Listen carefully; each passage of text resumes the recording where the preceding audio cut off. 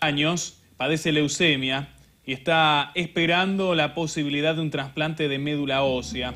Aguarda los resultados de un estudio de compatibilidad con sus hermanos para poder saber si pueden ser potenciales donantes.